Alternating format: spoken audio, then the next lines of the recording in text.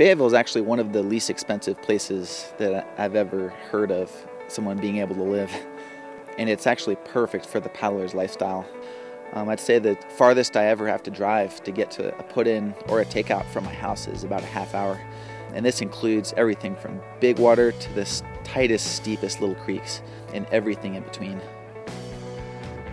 Asheville wouldn't really be the same without the Green River Narrows. I know that when I when I go, you know, even out of the country and paddle creeks and rivers in, in exotic locations, then I come back to the green and I haven't paddled in in a while, I'm just like, wow, this is this is pretty serious stuff. Like, this is no joke.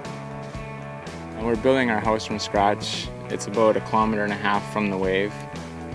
Probably 90% of the material that makes up the house actually came from the lot itself. Once the logs were all decked up, then it was kind of our job to put them on the mill, and a bandsaw mill then milled them into dimensional lumber.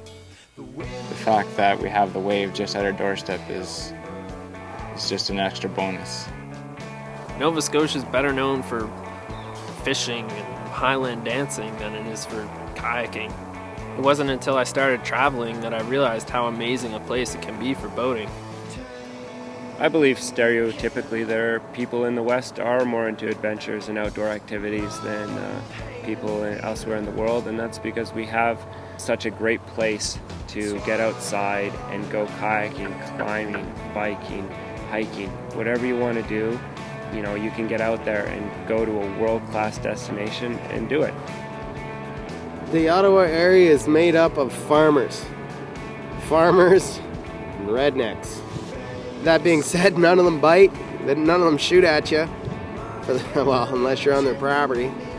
One of the big reasons I like being here is because I can make a plan to be better and push freestyle and get better at, at, at doing freestyle tricks. And I think that's why you'll see so many great freestyle paddlers come out of this area.